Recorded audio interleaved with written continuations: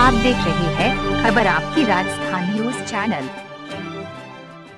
झालावाड़ ज़िले के सेवादल कांग्रेस कार्यकर्ताओं ने रविवार को सामुदायिक चिकित्सालय चौ महिला का दौरा कर स्थिति का जायजा लिया तथा चिकित्सा स्टाफ को तीसरी लहर में हर संभव मदद का भरोसा दिया। पूर्व जिला कांग्रेस अध्यक्ष पूर्व विधायक जगमदन लाल वर्मा, सेवादल जिला कांग्रेस कमेटी अध्यक्ष नंद सिंह राठौर के निर्देशानुसार सेवादल कांग्रेस ब्लॉक अध्यक्ष छोटालाल भावसार जिला परिषद सदस्य बनवर लाल मेहर सरपंच, प्रतिनिधि अशोक भंडारी के नेतृत्व में सेवा दल की टीम ने चिकित्सालय में आरटीएम भवानी मंडी द्वारा लगाए जाने ऑक्सीजन प्लांट के लिए जगह का देखा व कोविड 19 की आने वाली तीसरी लहर से बचाव के लिए उपयुक्त साधन सुविधाओं का जायजा लिया। वो हर संभव मदद के प्रयास करने की बात की। टीम में सेवा दल नगर अध्यक्ष संजय जैन, ब्लॉक प्रवक्ता इकबाल मंसूरी, ब्लॉक उपाध्यक्ष सलीम भाई अशोक मीणा सेवादल जिला संयुक्त सचिव अविनाश परमार, सुप्रीम कोर्ट अध्यक्ष श्याम मेहर, पूर्व सरपंच गंगाराम जी तलावली, अशोक राठौर,